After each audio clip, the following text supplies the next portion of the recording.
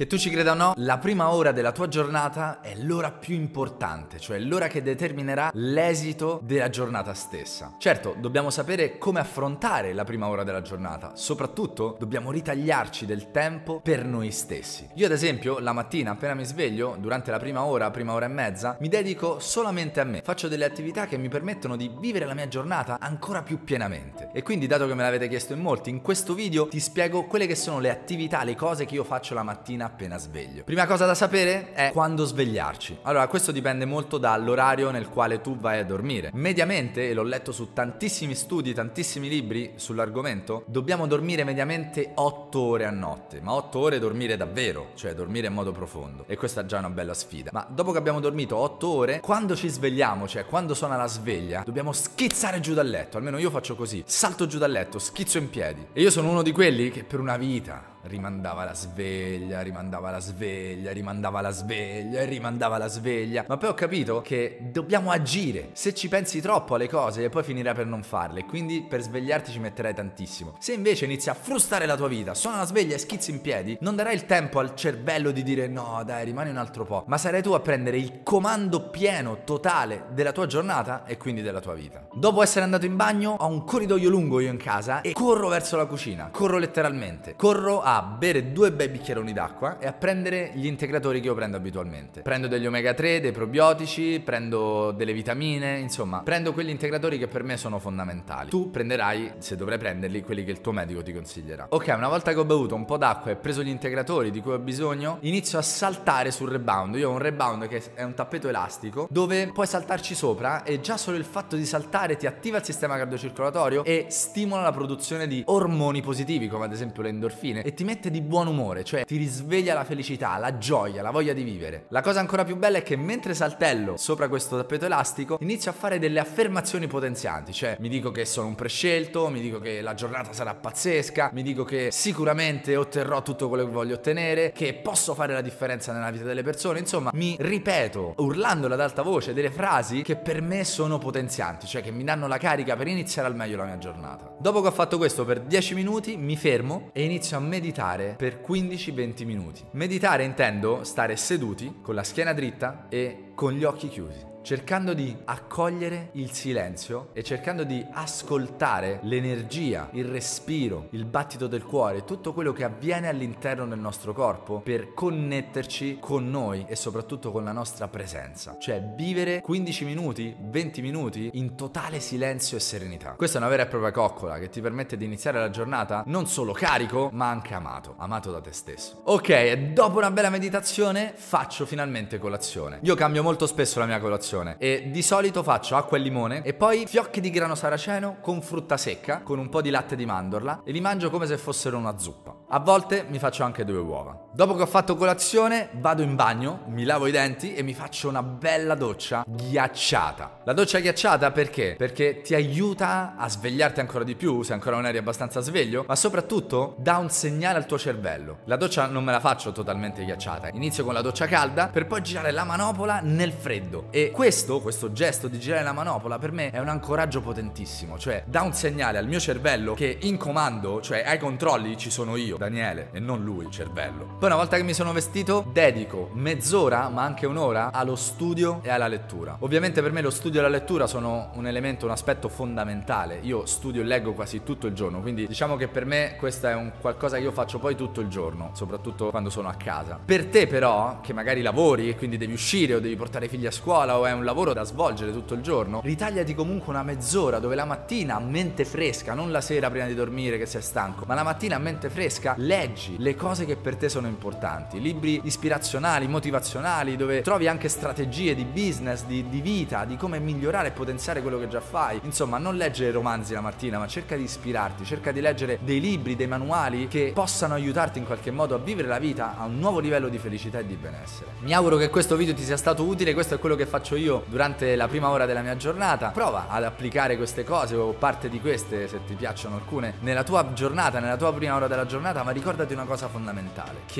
la prima ora della tua giornata è l'ora in cui tu sei più produttivo. In realtà pensiamo di essere più stanchi, più smorti, ma se ti darai l'input di fare queste cose, di svegliarti, di iniziare la giornata essendo tu in guida, vedrai che tutta la tua vita cambierà. Un'ora la mattina può fare una differenza incredibile se la proiettiamo su una vita intera. Ricordati però che in tutto questo devi crederci, perché nessuno si sveglierà un'ora prima al posto tuo, quindi nessuno al di fuori di te potrà mai crederci più di te.